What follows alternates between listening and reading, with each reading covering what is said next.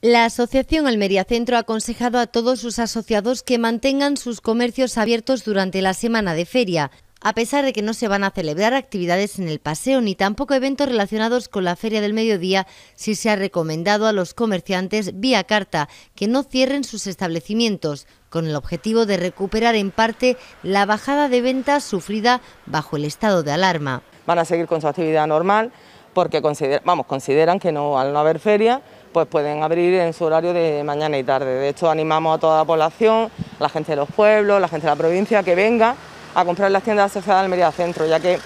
pueden venir, ahora mismo también tienen parking gratuito, si compras las tiendas de Almería Centro eh, te, solicitas tu parking gratuito en, el parking de por Verá y en el parking de la calle Real y puedes aparcar de forma gratuita para realizar tus compras, pasear por el centro. Es más, de hecho, si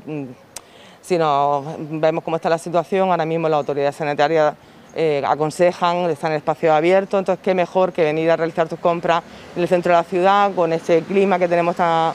tan bueno y disfrutar de las tiendas, de los comercios y aprovechar también para decir a la gente que las tiendas del centro son unas tiendas exclusivas, de calidad, con muchas marcas que no puedan encontrar en otros sitios. Desde esta asociación se recuerda que la única salvedad para el cierre de establecimientos será el sábado 29 de agosto, fiesta local por la celebración de la patrona de la Virgen del Mar. Mientras tanto, se anima a los almerienses a seguir disfrutando de las compras en los comercios de la ciudad.